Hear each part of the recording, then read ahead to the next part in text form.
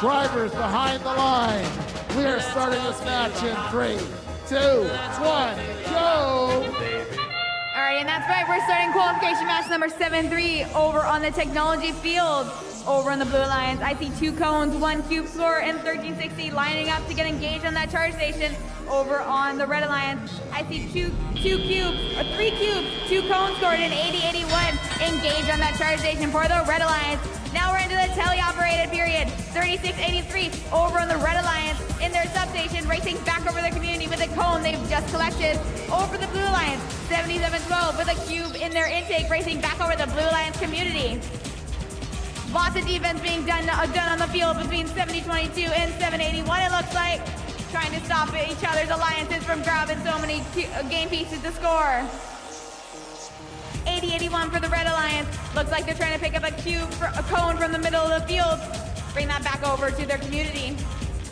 781 is joining them with a cone as well, and 3683. It's a cone party over on the Red Alliance. 8081 plays that cone, completing a link for the Red Alliance, it looks like. Over on the Blue Alliance, I see two links created. Remember, these teams need five links to get that ranking point at the end of the game. 1360 collecting a cone over from the Blue Alliance substation and they're racing back to the Blue Alliance's community, finding a place to score that cone. Over on the Red Alliance, 3683 trying to get back to their community, swerving around their defense, scoring a, a, cube, a cube over, completing another link for the Red Alliance. A lot of defense going on in the corner of the field. All three blue robots and 8081, but 8081 gets away, grabs the cone they've collected, tries to line up to score that over in the middle node, it looks like. Back to the Blue Alliance, IT 1360 with a cone in their intake, trying to line up to find a player to score that, and they score it in the high node. Racing back out of their community and back to their substation to grab some more game pieces. 36-83, trying to swerve around uh, some defense, but 70-22, standing strong.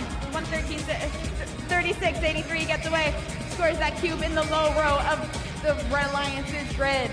We're in endgame, looks like 781 for the Red Alliance, waiting for their alliance partners to go engage. 8081 is now there, and the Red Robots engaged. Blue Alliance, can you beat that?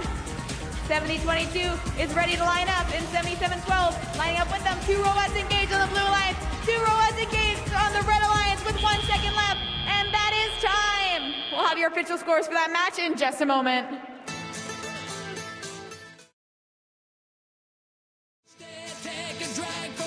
And the scores are in. Let's take a look. And that match goes to the Red Alliance. With a score of 158 to 129, the Red Alliance walk away with four ranking points. 36-83 holding that third place strong. 80-81 able to move up through the rankings